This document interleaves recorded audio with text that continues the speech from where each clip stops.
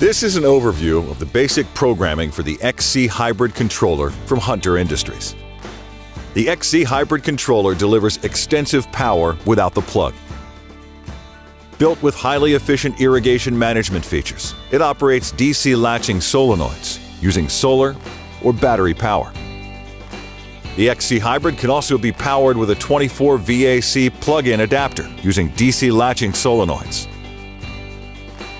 The robust controller is available in 6 and 12 station plastic or stainless steel models to deliver top performance in both indoor and outdoor settings. The installation flexibility makes it the ideal solution for a wide range of residential and commercial applications. To create an irrigation program, we'll show you how to set the date and time, assign a start time to the program, schedule run times for each station within the program, and designate the days to water.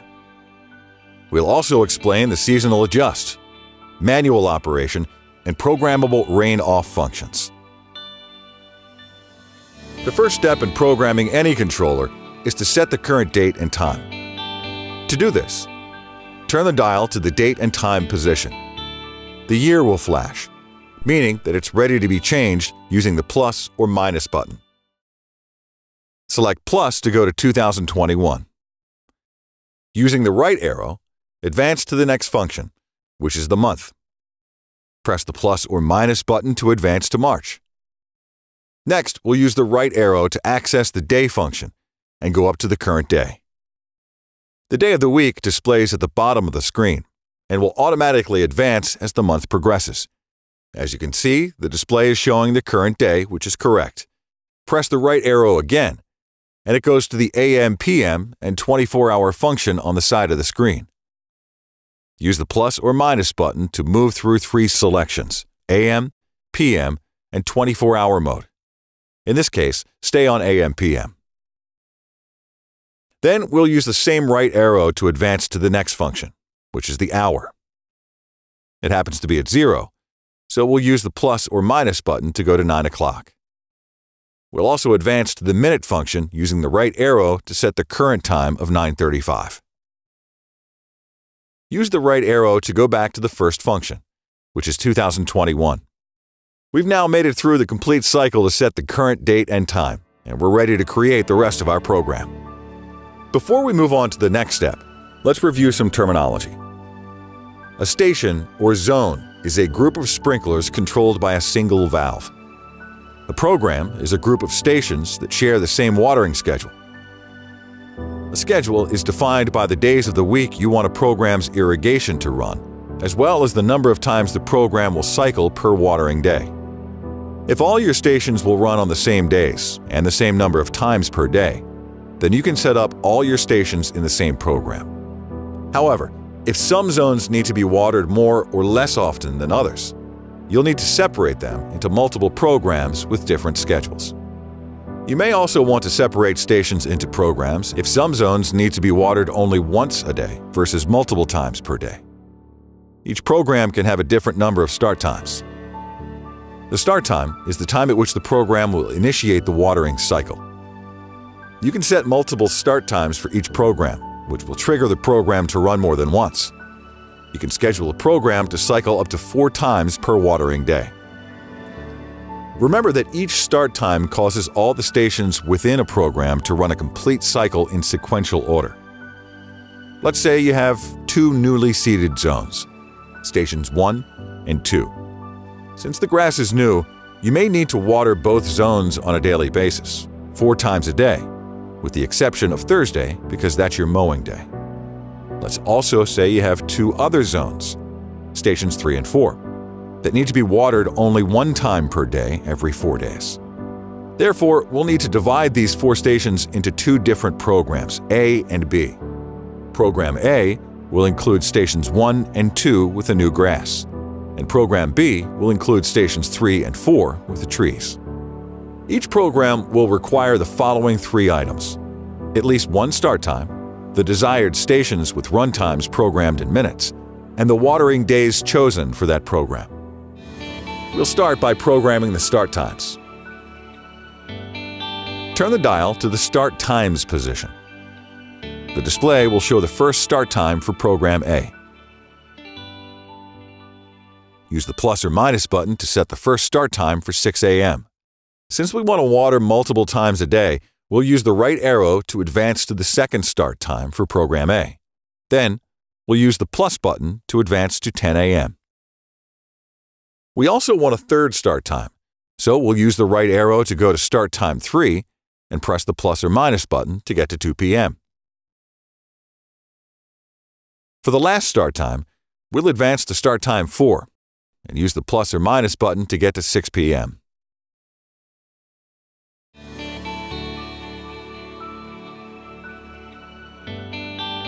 To delete a start time, press the plus or minus button until you reach the off position. It's located after 11:45 p.m. and before midnight. This will get rid of start time 4. And now we only have 3 starts in program A.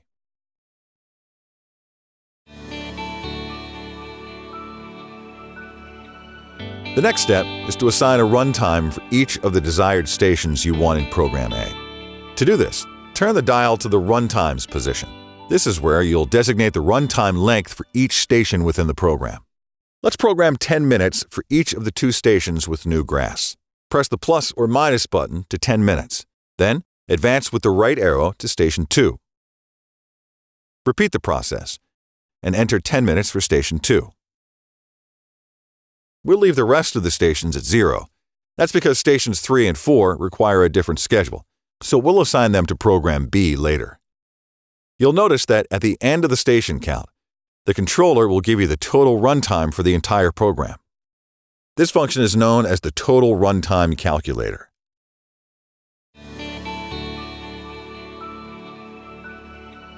The last step is to set the desired watering days for program A. Turn the dial to the water days position. Let's program it to water every day except Thursday, which is our mowing day. To activate a day, press the plus button. To cancel a day, press the minus button. We'll press plus for Monday, Tuesday, and Wednesday. For Thursday, we'll use the minus to signify a non-water day. Then we'll use plus on Friday, Saturday, and Sunday. The flashing raindrop will go back to the beginning of the week. You'll see a circle with a line through the raindrop on Thursday, which means no watering. This completes Program A. Now we're ready to start the same process for Program B.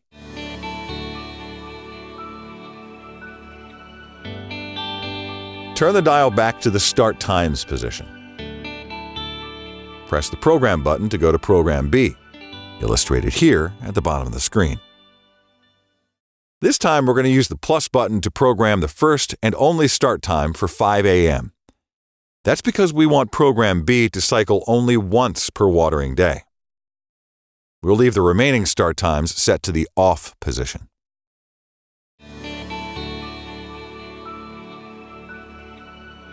Turn the dial to the run times position. Here, you'll see stations 1 and 2. We'll leave them at 0 minutes because they're over in program A. Use the right arrow to advance to station 3 and press the plus button to assign 20 minutes.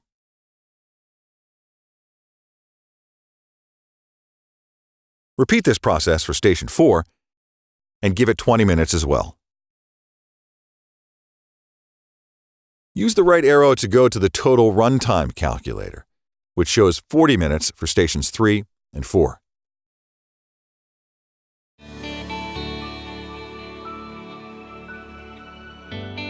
Can also set the system to water on odd or even days. The odd days include the first, third, fifth, and so on, and the even days include the second, fourth, sixth, and so forth. Keep in mind that the odd or even selection is based on a 30-day month. If a month has 31 days, watering will not occur on the 31st day. You can access the odd or even mode from the specific days of the week screen. Move the cursor all the way to Sunday and press the right arrow again, odd will appear. If you press the minus button, even will show. Whichever you leave flashing on the screen will be the one that takes effect.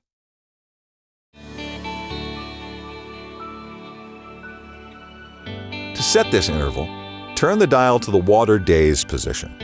You'll see the seven days of the week across the bottom.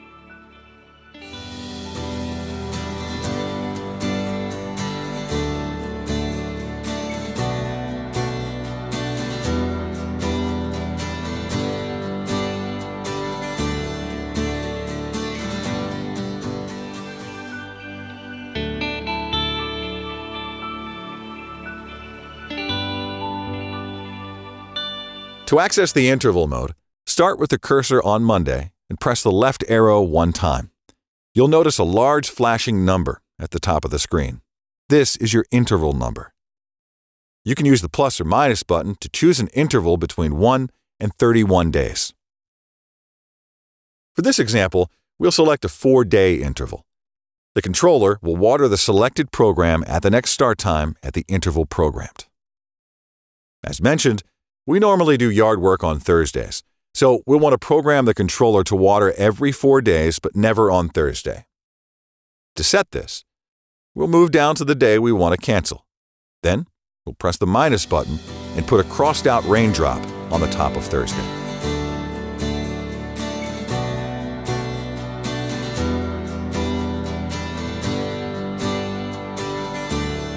As you just learned, setting up a complete program requires assigning at least one start time, programming the runtime minutes for each station in a program, and choosing the days to water for that program.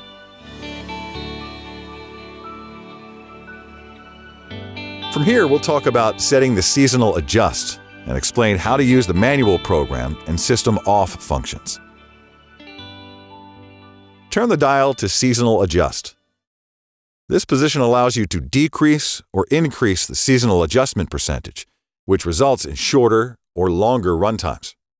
If you reduce the seasonal adjustment down to 50%, for instance, the stations that were originally programmed to run for 20 minutes will now run for only 10 minutes. When programming a station's runtimes, it's important to keep this value at the factory default of 100%. This serves as a baseline from which all adjustments are made.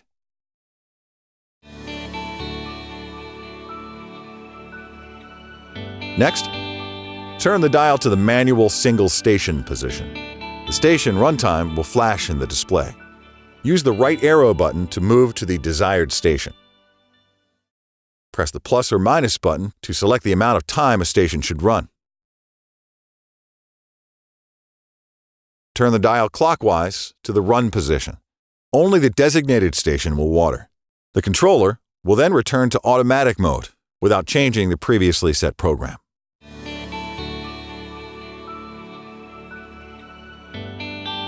Turn the dial to the manual All Stations position. Select Program A, B, or C by pressing the Program button. The station runtime will flash in the display. Use the plus or minus button to select the amount of time a station should water if it's different from the runtime displayed. Use the right arrow to move to the next station and adjust runtime as needed. Turn the dial clockwise to the Run position and the controller will water the entire program, beginning with the station number last left in the display. After the manual run, the controller returns to automatic mode without affecting the set program.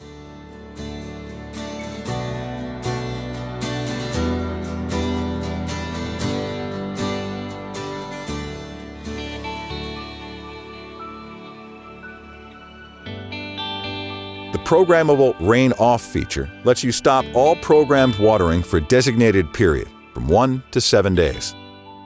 At the end of the programmed rain off period, the controller will resume to normal automatic operation. Turn the dial to the system off position. Wait for off to display. Press the plus button as many times as needed to set the number of days off, up to 7 days. Turn the dial back to the run position. In the display, you'll now see off the number of selected days and the spray and calendar icons. The number of remaining days off will decrease at midnight each day. When the display reaches zero, it'll show the normal time of day and normal irrigation will resume at the next scheduled time. In this video, we covered the basic programming functions of the versatile XC Hybrid controller. For more details, consult the owner's manual at hunterindustries.com.